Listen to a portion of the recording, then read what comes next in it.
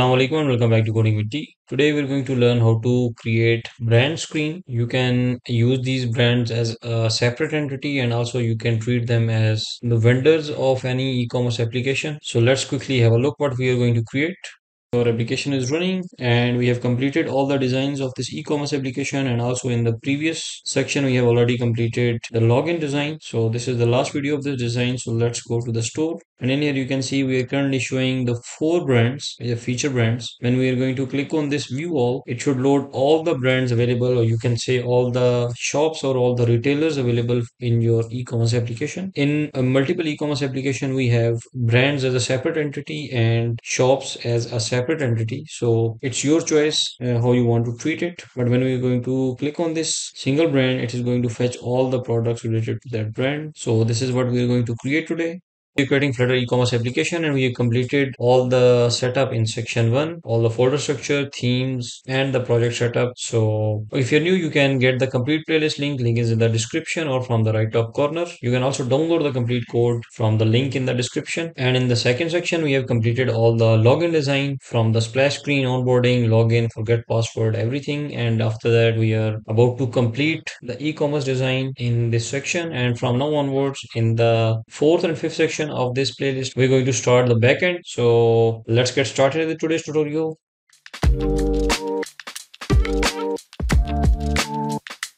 We are inside the project we created for e-commerce application and in here you can see I am currently pointing towards in the shop go to screens and in the brands this is a new folder or new directory I've created in the screens which is all brands brands.dart it is empty stateless widget and I have created a custom app bar which is t app bar. We created in the previous tutorial at the start of this section using preferred size widget which is custom and added some default padding and also default icon is used over here with the light and dark modes so if you want to use it, you can do it. If you don't want to use it, you can use a simple app bar over here. After that, we have a single child scroll view to make our design scrollable. And after that, we have a padding, which is going to be the default space from all the sides. So I've just added a heading over here, which is the brands. If you go to this heading, is a custom heading. It is a simple row, has a title and has a show action button. And if I want to show action button over here, I can display it by default, which is true.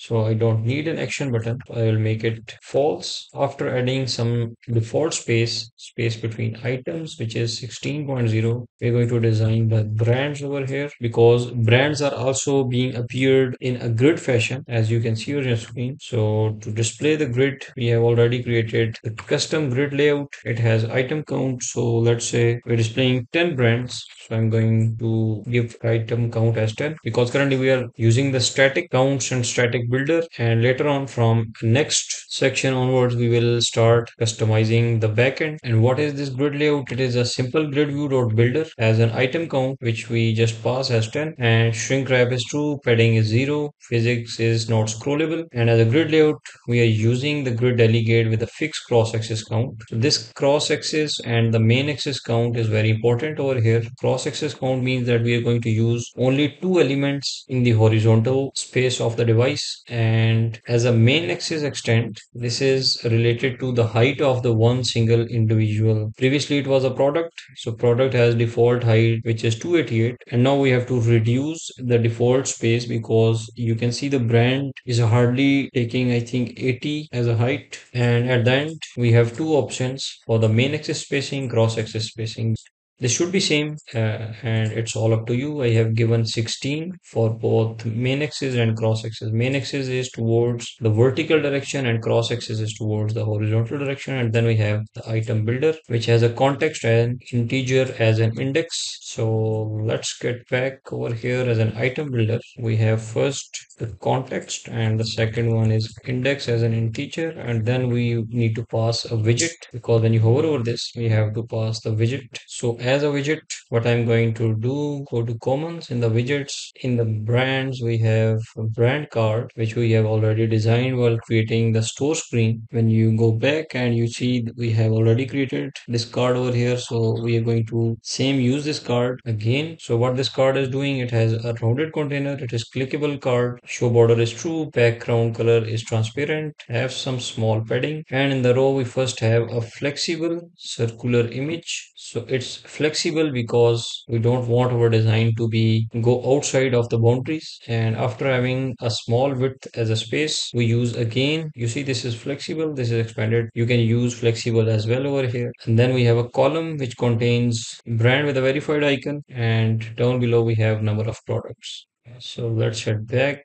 We're going to use the brand card, make the show border to true because we want to make this border to be visible. We have to remove this constant, add constant we are required. And also it's not necessary to do this manually. You can also go to terminal and run the command flutterfix with the two hyphens and apply. This is going to fix all the required fixes inside our application. Okay, so let me rerun this application. Okay, so application is running. Let's go to the login screen, click on sign in button and this is the dummy data we have. So let's go to store click on view all and currently you can see we have 10 brands currently displaying but the width or the main axis extent is what we have to pass. So inside the grid layout when you hover over this we have the entry which is main axis extent. So next to this item count let's search for main axis extent give it 80 let's save it and you can see it's done. Okay in here when we are going to click on any of this brand we want to redirect to another screen and we want to display all the products related to brands. So to do that, we're going to reuse the design, which is all products. And inside you can see we have a drop down button, which is going to filter everything, sort using the name, sort using price, lower price, sale, newest, popularity. So we're going to use the same design. But in this design, you can see we have the app bar over here, but in our design, which is all brands, we also have the app bar. So we cannot reuse this design. So for that, we have to wrap this column. Refactor extract flutter widget e sortable products. So we are going to treat this single widget as a sortable and later on as a backend we can simply pass the list of products to this sortable widget and it will do the remaining work for us. It doesn't matter it's the products coming from the brands from the categories or we are passing from randomly from some other place. They are the popular products or any type of products can be easily treated inside this single class. So we can extract it from here into to the commons widgets, go to products, create a new directory which is sortable. You can name it anything and if as you can see i am going to create a one single file inside this directory. So it's not mandatory to keep or contain the folders again and again. So it's all up to you. You don't want to keep the folders inside over here. Uh, it's not necessary because you can see we have only four items in the card. This means the card folder is required two in the product card. So this means that this is also the required directory and in the ratings we have only one maybe in some other because like you can see in the layouts. Currently we have one layout. So i'm just following the norm and created a new folder which is sortable. Create a new class. Sortable products dot dart hit enter import material dot dart paste the code import required packages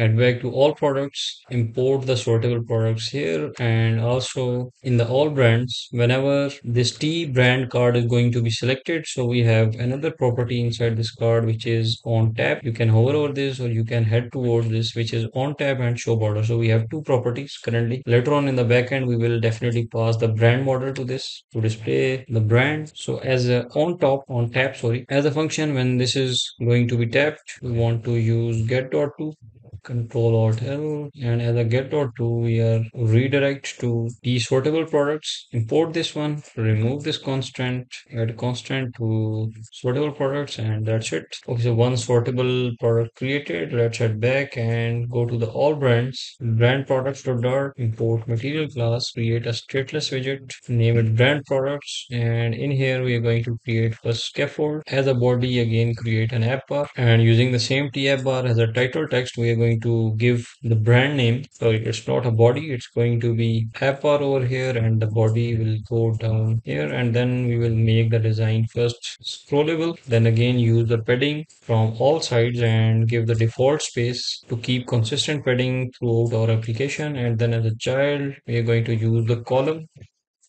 let's say at the top you want to display. Again the specific brand details. So we'll use the same brand card over here. Add some space. And right after this we are going to use the sortable products. The same way we added the sortable products inside our all products.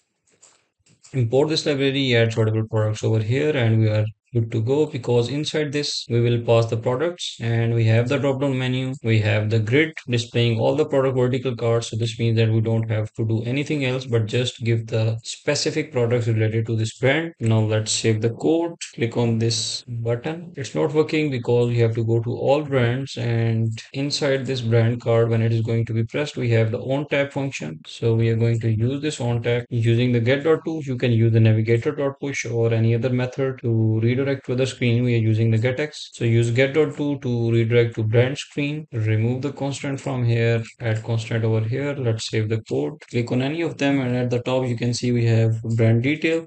The purpose to add brand detail over here is let's say later on in future you are going to treat this card as the shop card or you want to display the specific detail related to the shop which is selected. Currently it's displaying as a nike. If, if you have some other shop detail you can display a detail card over here. Then we have sortable options. Currently drop down is taking the complete width. You can also display the text over here and make the drop down smaller. And then we have the list of products. So again that's your choice. So that's it for the design. That's it for the section 3 and also the e-commerce design is now completed. From onwards we are going to start the backend playlist which is the section 4 of this e-commerce application. So once again thank you for watching. If you're new you can watch the previous videos. Link is in the description. And you can also download the complete code from the link in the description. If you learn something new please like the video. And if you're new to this channel don't forget to subscribe and hit the bell icon to get notified for all the upcoming videos. So once again thank you for watching. Take care. Allah hafiz